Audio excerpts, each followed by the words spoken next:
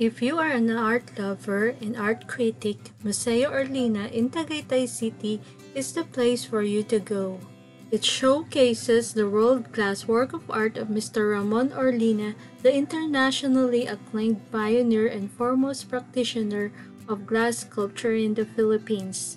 Sorry that I cannot share photos of the arts inside the museum as they have a rule that video taking is not allowed inside and still photography is permitted only for personal use.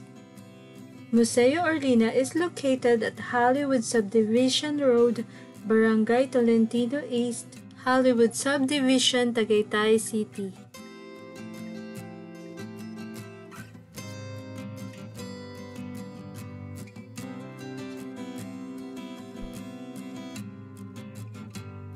After going to Museo Orlina, we decided to have a snack and the nearest restaurant we saw is the Kaye Ryan Grill.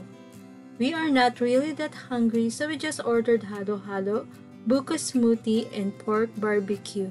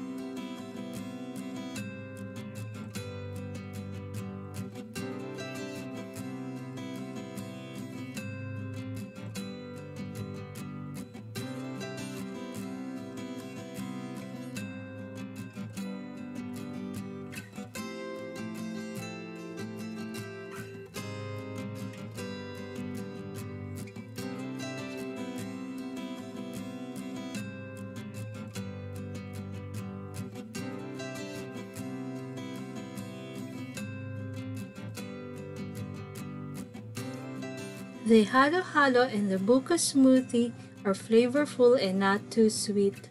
And the pork barbecue is so delicious.